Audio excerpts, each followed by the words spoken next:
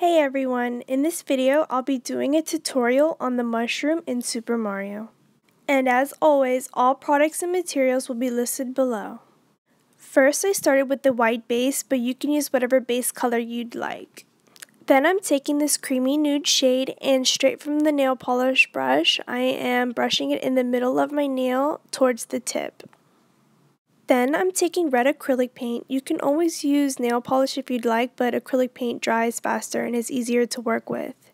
Anyways, I'm just drawing a half circle in that red on top of that creamy nude shade that I just put on my nail. It's a good thing acrylic paint dries fast because sometimes it needs a few coats to be completely opaque. Then you're going to take whatever dotting tool that you have on hand and dot as many white dots as you can. I managed to make three. And they're kind of like medium sized dots, so nothing too small.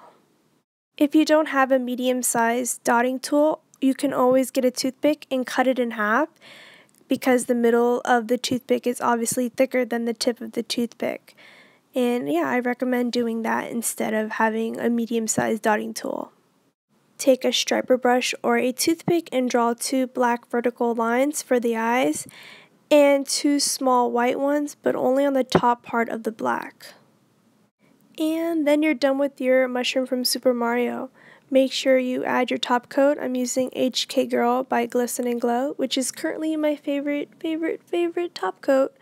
And um, yeah, I hope you like this video and thank you for watching.